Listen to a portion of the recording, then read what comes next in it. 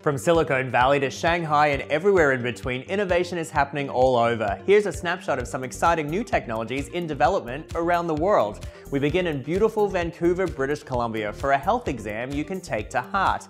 Our birthdays might tell us our chronological age, but there's now a more accurate way to track how old we really are.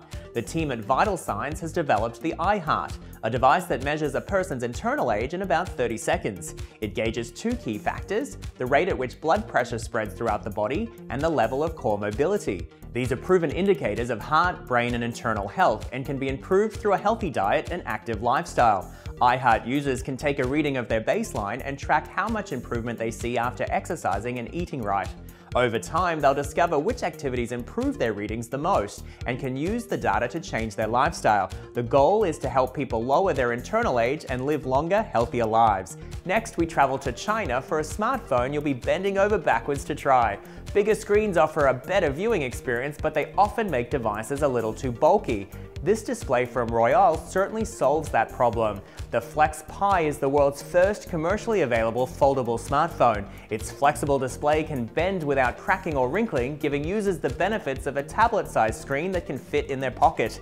In fact, Royole boasts the display is virtually unbreakable, even after being bent over 200,000 times. And because two is better than one, the FlexPai comes with a split screen option.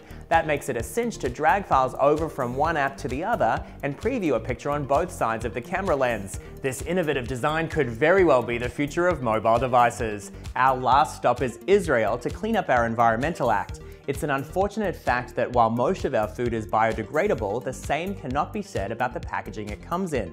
TIPA has designed a wrapper that literally takes out the trash. The company's food packaging is made of a fully compostable biomaterial. That means it will eventually degrade after several months without leaving behind any harmful contaminants. That's in contrast to most plastics, which take many years to start breaking down, if they do at all. TIPA's packaging is currently used to wrap several products, including granola bars, coffee beans, and undergarments. And that's our wrap of the top innovations from around the world.